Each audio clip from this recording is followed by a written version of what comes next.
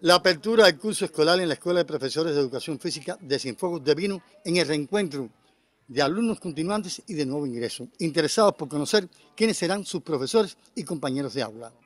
La actividad de inicio estuvo matizada por un elenco artístico de alumnos del centro. Se reconocieron a los atletas de la escuela medallistas en la última edición de los Juegos Escolares. La directora de la EPEP sureña, Iluminada Capote Rosel, en las palabras de inauguración del curso, precisó.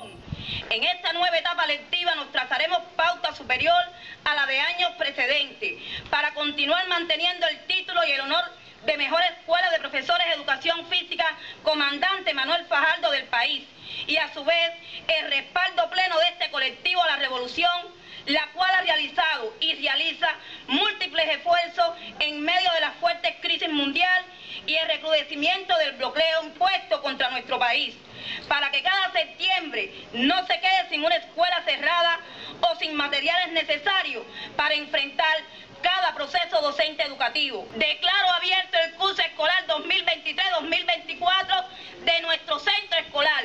Muchas gracias a todos. La Escuela de Profesores de Educación Física de la Perla del Sur, con una matrícula de 290 estudiantes, de ellos 140 de nuevo ingreso y el resto continuantes, están conscientes de que en este periodo lectivo las familias tendrán un alto por ciento de responsabilidad del proceso formativo y educativo de sus hijos. Me gusta porque me gusta la carrera, Siempre quiero ser profesora de deporte y la escuela está bastante bonita, me gusta cantidad.